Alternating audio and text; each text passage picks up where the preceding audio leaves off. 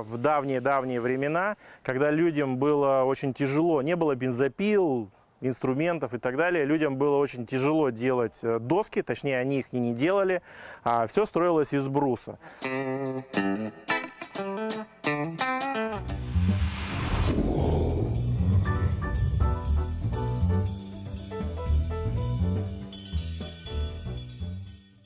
Привет, друзья! Меня зовут Лошкарев Андрей, это проект «Все по уму настройки». Я начинаю снимать цикл сюжетов, посвященных строительству фахверкового дома. Один из моих зрителей начал строить дом по этой технологии и пригласил меня за этим процессом понаблюдать.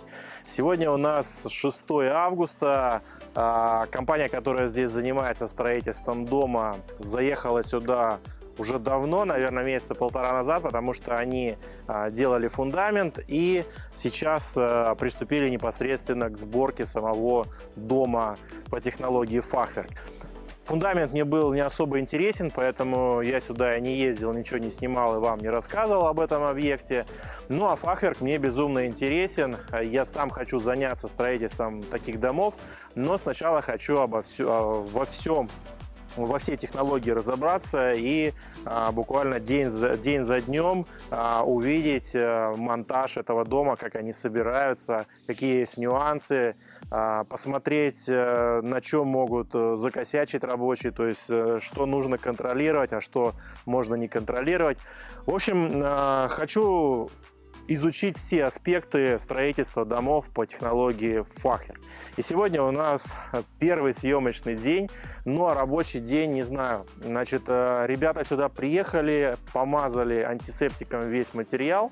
Я вам покажу его еще, ну, материал, э, наверное, ну, день. И сегодня вот они устанавливают нижнюю обвязку. Наверное, второй рабочий день, так и назовем. Первый, дефис второй, рабочий день строительства дома по технологии Фахверк.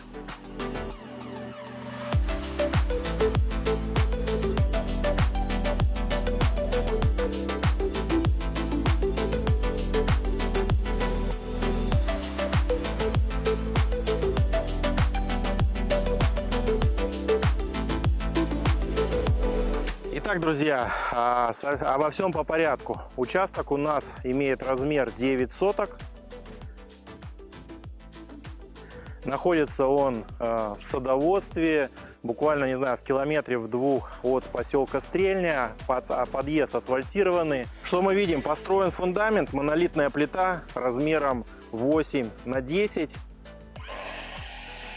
И сегодня ребята делают обвязку, обвязку из бруса.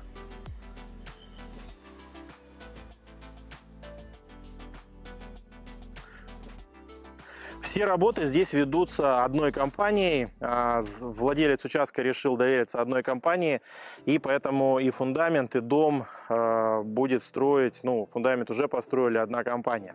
Да, помимо фундамента уже установлена биостанция. Вот она там зелененькая, где ведро стоит. Коммуникации сделаны, а, то есть канализационные выходы сделаны и заведены уже в канализацию, ой, в биостанцию. Я вижу косяк, а, вот с канализационной трубой сейчас спустимся, разглядим поближе. Какова предыстория строительства этого дома? А, ребята жили в квартире, решили жить за городом, продали квартиру, сейчас живут на съемном жилье и на эти деньги строят, купили участок и строят себе дом. Фактически это а, продолжение проекта из квартиры в свой дом. Кстати, тот каркасник достроен, ребята заселились в него.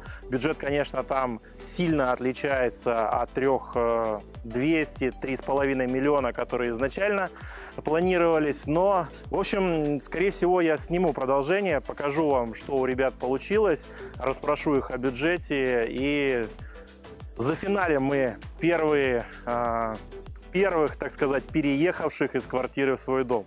Ну а вот здесь э, эти ребята, это вторые переехавшие, которые хотят переехать из квартиры в свой дом. Значит, изначально, что мне удалось выяснить по бюджету, а, у ребят есть 7 миллионов рублей Они за миллион восемьсот купили участок, а осталось у них там 5200.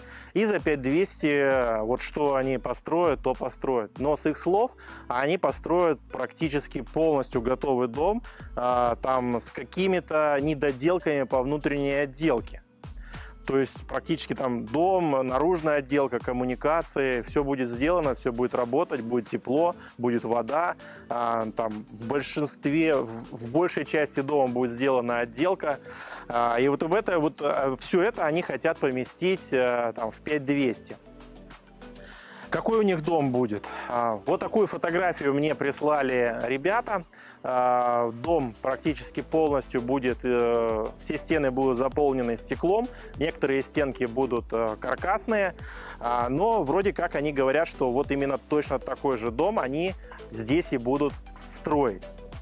Что такое, э, что такое дом по технологии фахверк? Фактически фахверковый дом это каркасник. А, точнее, по-моему, каркасники, они выросли из фахверковых домов, из фахверковой технологии. А, когда еще не было электроинструмента, и люди все делали там, не знаю, топорами и ручными пилами.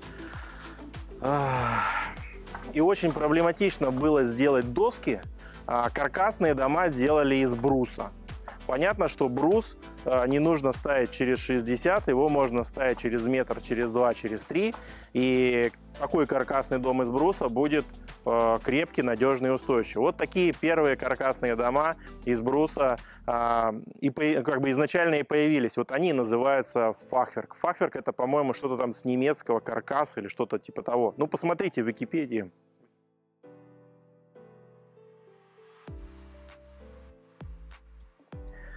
Вот таким вот образом выглядят комплектующие э, фахверкового дома. Это стойки, это вертикальные стойки.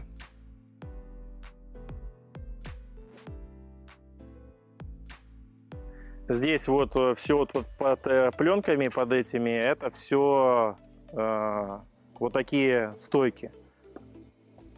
Короче, сначала устанавливаются вертикальные стойки, потом они соединяются горизонтальными, точно, горизонтальным точно таким же брусом. И получается у нас такой пространственный каркас из толстого клееного бруса.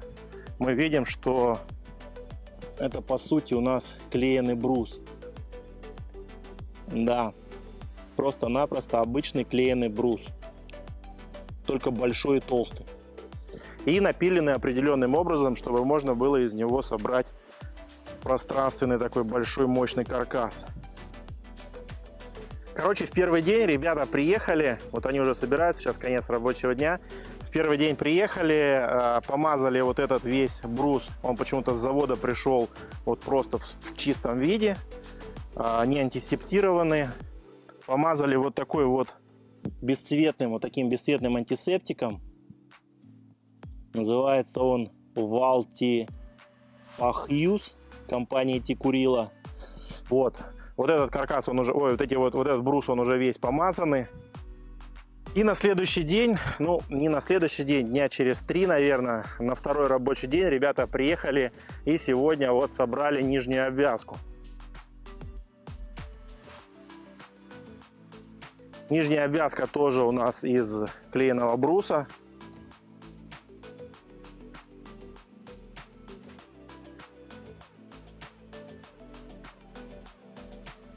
Вот, друзья, видите, а, ошибка в фундаменте. Канализационную трубу сделали очень близко к краю. И, ну, ребята сегодня ничего не исправляли, потому что не они фундамент делали, они приехали монтировать каркас, и им нужно поставить обвязку. И они обвязку поставили прямо на канализационную трубу. Да, я думаю, что ребята, которые делали фундамент, промахнулись, ну, вот здесь, наверное, сантиметров на 30, на 40.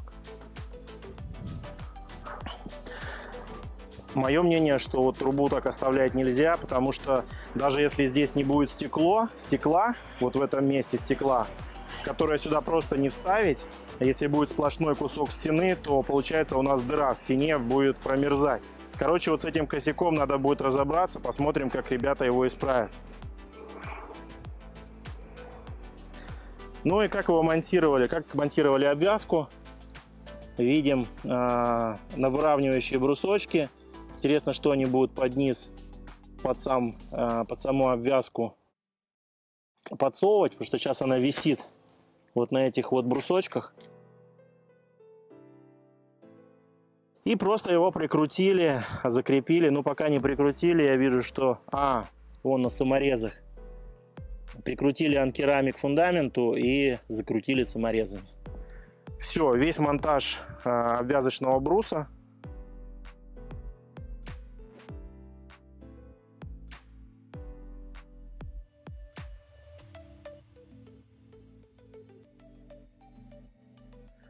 Все, сейчас где-то около 6 часов вечера. А, ребята собираются домой. Так, что тут еще можно посмотреть, куда заглянуть? Давайте заглянем в дренажный колодец. Если кто не знает, что там, будет интересно посмотреть. Так. А там у нас ничего. Как вы видите, это просто просто воткнули в, в, в песок вот такую дренажную, ну, это называется смотровой дренажный колодец. Трубу, обрезок трубы, и там выходят э, дренажные трубы. И мы через эти колодцы можем провести инспекцию, посмотреть, работает ли у нас дренаж или нет. А также сюда падает всякий мусор, который мы можем убрать. Вот таким вот образом выглядят внутренности вот этих черных штук, которые торчат вокруг домов, просто вотнуты в песок.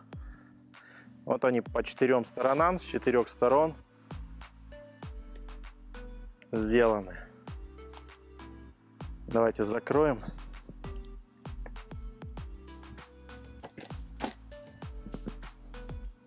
Ну что друзья, я тоже буду отсюда уматывать. Вот такой у нас получился первый сюжет, знакомство с объектом. Посмотрели, увидели, как делается обвязка, увидели составляющие элементов фахверкового дома. А дальше будет намного интереснее. Мне тоже с нетерпением жду, как будут возводить непосредственно сам каркас дома. Планировку и внешний вид дома, именно в виде как бы проекта, я впущу в конце этого видео заставки. Посмотрите. Дом площадью 160 квадратных метров. С вами был Ашкарев Андрей. До скорых встреч. Пока.